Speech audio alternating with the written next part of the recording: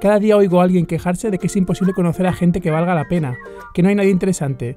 Mm, Yo no estoy de acuerdo. ¿Por qué la gente se queja de que no hay gente interesante?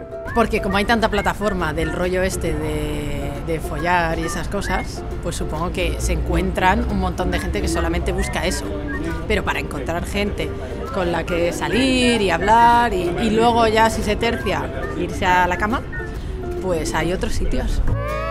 Hoy vamos a la presentación de la imagen del Fire, el Festival de Cine Gay de Barcelona. ¿Habrá gente interesante? Soy el director, soy el co-director del Fire, junto con Juaco Ezpeleta, que es el otro director, que es el primer festival de cine gay de España. Y un festival Pero- muy guay que yo fui el año pasado. Festival super guay, que tiene 21 años, tiene muchas secciones, viene mucha gente súper simpática, súper maja. Es eh, la presentación del cartel del Fire. Nos han llamado para que hagamos un poquito de diosas, que es lo que nos va. Van a ser los dioses del amor. Y Laura es Cu- Cupido. Sí. Bueno, ya, ya está la carne que queríamos. A ver, que tu madre se escandaliza después y me odia. Hola, Concha.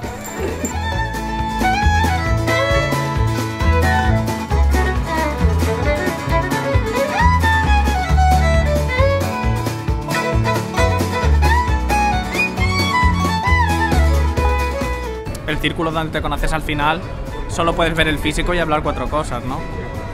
Y yo creo que es un poco la mierda de cómo se conoce la gente hoy. Al final no descubres cómo es una persona, ni los gustos que tiene, ni las habilidades, ni las actitudes, ni nada.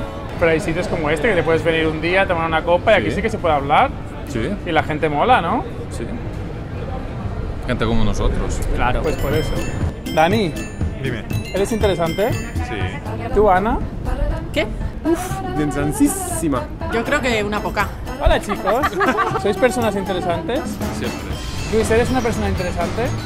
Bueno, yo creo que sí, ¿no? Pues aquí tenemos un espécimen de ser humano interesante, muy guapo. Muy interesante.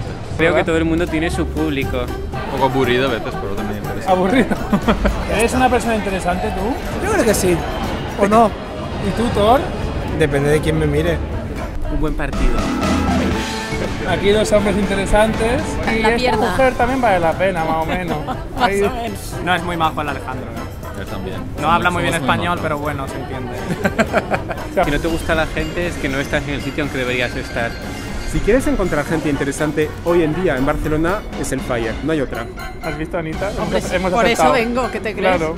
La vez al año que salgo al Fire.